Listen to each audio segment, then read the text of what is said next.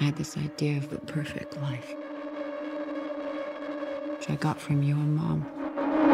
That's really all I wanted. It is surprising how weak we all are when we are convinced that we are not.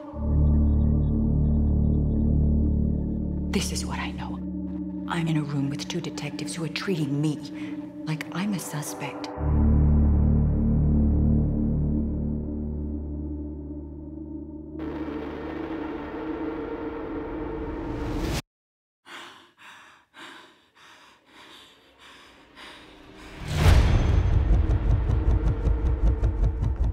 Always seen things so clearly. How can you not see this now? Did you think that he was capable of committing such mayhem? You need to stay away from my wife. Your daughter is hiding something.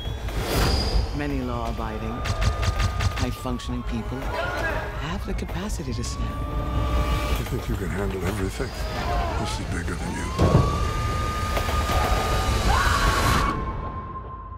Exactly how weak do you think I am?